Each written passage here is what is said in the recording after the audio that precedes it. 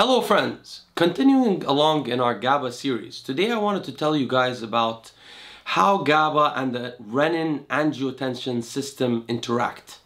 The renin-angiotensin, uh, please excuse my voice by the way, I'm a little sick also.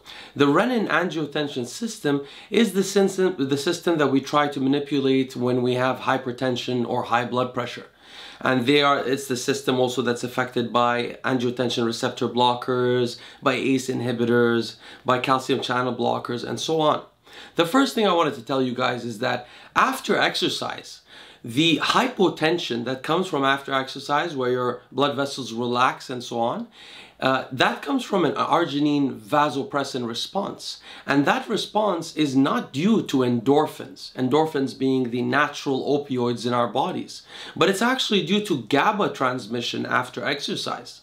The second thing that I wanted to tell you about the renin angiotensin system and GABA is that if you use an ACE inhibitor instead of an ARB, which I always recommend, an ARB personally, that's what I take, you are actually producing less GABAergic uh, transmission in your body than somebody like me. Why? The angiotensin 2 type 2 receptor, which is, so just to explain a little bit ahead of time, the ACE inhibitors, they prevent the uh, development of angiotensin type 2. So basically, ACE inhibitors prevent signaling at two receptors. One is called AT1 and one is called AT2. Angiotensin uh, uh, 2 actually agonizes both of these receptors. Now, an angiotensin receptor blocker only blocks the AT1 receptor, leaving the AT2 receptor to be agonized by angiotensin 2. ACE inhibitors stop the whole thing. It turns out the AT2 receptor agonism there increases GABAergic activity.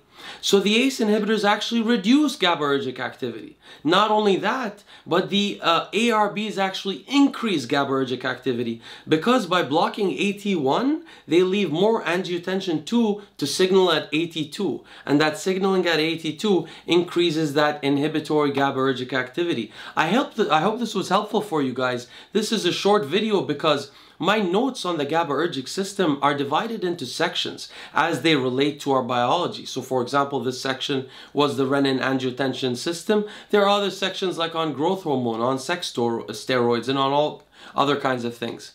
I hope you guys tune in for the rest of the series and I wish you a great day.